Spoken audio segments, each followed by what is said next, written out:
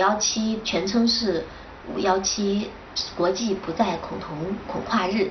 那为什么会有这样一个节日呢？实际上，在一九九零年的时候，世界卫生组织把同性恋从精神病这个分类里面给挪除了。所以，为了纪念这样一个在 LGBT 社群里面里程碑式的一个事件的发生，呃，我们就产生了这样一个五幺七国际不再恐同恐跨日。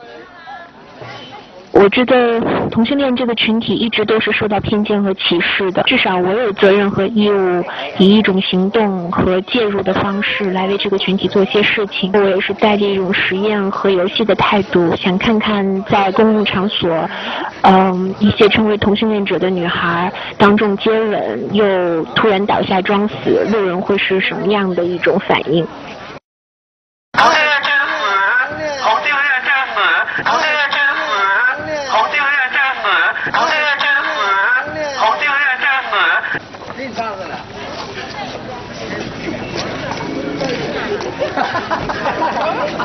这个挺有意思啊！这太恐怖了，太恐怖，恐怖片了。你们学生也搞搞那么恐怖啊？快打幺二零，给我打幺二零。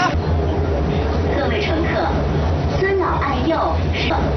尊老爱幼是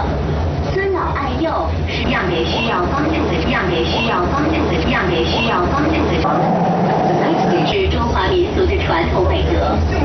幺零站，是换乘车站，换乘地铁二号线的乘客，请按站内。在中国，大部分的朋友由于嗯他内心的那种偏见，他会做出一些对 LGBT 社群的朋友歧视的一些行为，或者说出一些伤害 LGBT 社群的话语。比如说，我们很难听到说有那样的案例。同志朋友因为那种仇恨犯罪而被杀害，但是在日常生活里面，仍然是有许多同志朋友会遭受到周围人的一些不理解的目光，或者是一些呃侮辱性的、歧视性的话语。同性恋群体内部是存在差异的，不仅有阶级阶层的差异，也有性别的差异。但是当人们谈到同性恋的时候，可能很大程度上。都会不自觉地先想到男同性恋，所以我们特别希望能利用这个机会，让女同的形象得到特别的彰显，希望人们能够